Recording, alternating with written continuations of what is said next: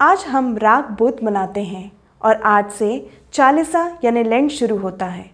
जिस प्रकार हम आगमन काल में परमेश्वर के मुक्ति विधान, हमारे प्रभु यीशु क्रिस्त के आगमन की तैयारी करते हैं, ठीक उसी प्रकार इस चालीसा काल में हम उनके आगमन के असल मकसद की तैयारी करते हैं। हमारे बीच में प्रभु यीशु के मनुष्य रूप में आने का असली मकसद आखिर क्या था? हमें पिता के पास ले जाना। उनकी लिखित विधान से परे, उनकी इच्छा के अनुसार जीवन जीने की कला सिखाना। और हमारी मुक्ति और उद्धार के लिए युगों युगों का एक विधान ठहराना, यही उनके आने का मकसद था।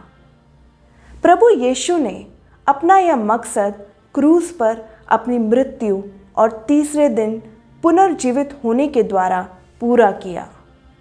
उनका यह बलिदान उस समय के विश्वासियों के लिए एक कर्ज की अदायगी के रूप में था। हमारे लिए यह किस रूप में है? हमारे लिए यह अनंत काल तक चलने वाले बैंक बैलेंस के रूप में है, जिसे हम उन पर अपने अटूट विश्वास के द्वारा प्राप्त कर सकते हैं।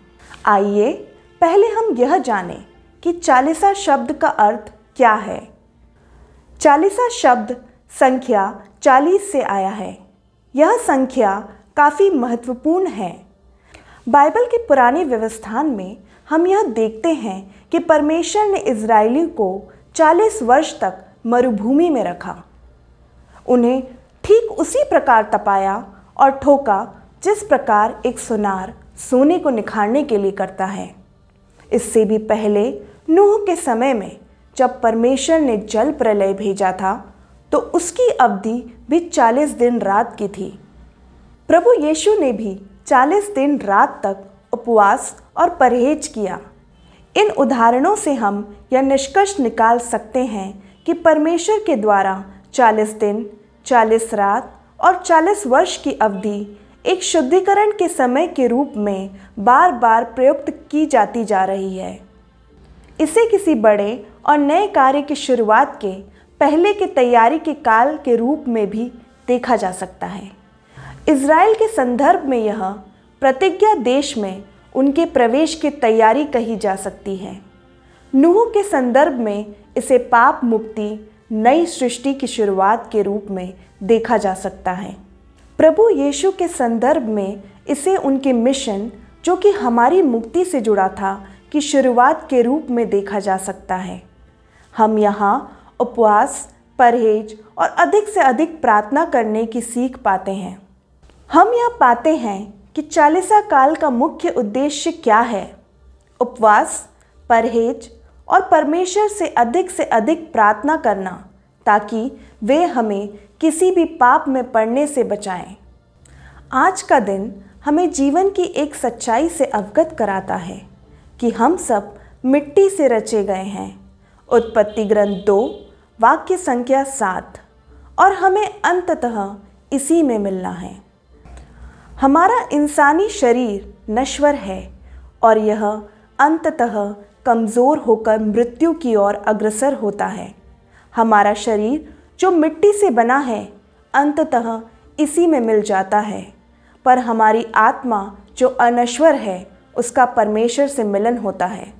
जैसे हिरणी जल के लिए तरसती है। ठीक उसी प्रकार हमारी आत्मा भी परमेश्वर से मिलने के लिए तरसती है। और यही कारण है कि संसार की भोग विलास की कोई भी वस्तु हमें संतुष्ट नहीं कर पाती, क्योंकि हमारी यह भूख और प्यास सांसारिक नहीं है, बल्कि आत्मिक है। और इसे केवल आत्मिक भोजन से ही तृप्त किया जा सकता है। हमें परमेश्वर के मुख से निकली हुई जीवन की रोटी चाहिए, ताकि हम अनंत जीवन पा सकें। प्रभु हमसे यह कहता है कि जीवन की रोटी मैं हूँ। मार्ग, सत्य और जीवन मैं ही हूँ। देख, मैं तेरे हृदय के द्वार पर खड़ा हुआ खटखटाता हूँ। यदि कोई मेरा शब्द सुनकर हृदय का द्वार खोलेगा तो मैं उसके पास भीतर आकर उसके साथ भोजन करूँगा और वह मेरे साथ। पुराने समय में लोग जब शोक मनाते और पछतावा करते थे तो टाट ओढ़कर राख लगाते थे और उपवास करते थे। नबी योना के ग्रंथ में भी नीनवे के लोगों ने ऐसा ही किया था।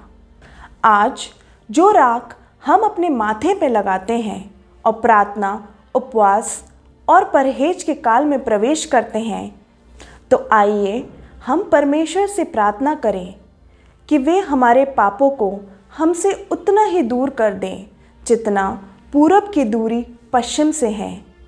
स्त्रोत ग्रंथ 103 वाक्य संख्या 12 चालीसा काल में प्रार्थना, उपवास, परहेज के साथ ऐच्छिक दान का भी नियम है। सवाल ये है कि हम क्या दान करें? क्योंकि हमारे पास जो कुछ भी है वो तो परमेश्वर का ही दिया हुआ है।